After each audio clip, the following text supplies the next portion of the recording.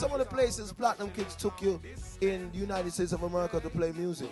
In the United States of America, I don't know the tri-state, the tri-state, of course. You don't know Connecticut, New Jersey, of course, New York City.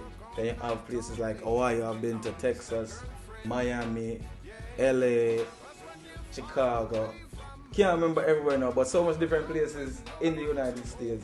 Eight to ten years ago, did you feel like you was gonna be a top DJ? Was traveling all over the? What was your goals in life? Was it to be a DJ, or uh, you have something else by your mind? It started as just being a hobby. You know, I was in school, in college, and everything. Finished up college, and you know, it was just something that I was just doing as fun. Hey, come like, yeah, you see, it come like that, so I don't know, looking nice with I will get, you understand? But right now, so tonight, it's about Flavor Friday, 1756 East Fremont. Black Friday gonna be kicking back inside the VIP, be some champagne and music. And you know what I mean? People them say, oh, you have a talent for the thing, and certain links and certain links make it don't know me people like Jabba, me people like certain other people, and you know what I mean? Just elevate us to a different level. I never see myself as doing this as a profession.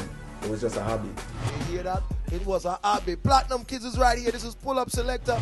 Don't move. Don't touch that dial. We have more Platinum Kids to talk about. We have certain things to talk about. The future of Pull Up Selecta and some of the past things what we have done for Pull Up Selecta and Tempo Television. And do remember, we're going to Miami Sunday, May the 30th. Get your plane tickets ready. The best of the best concert. I soon tell about that later on too. Pull Up Selecta. Don't move.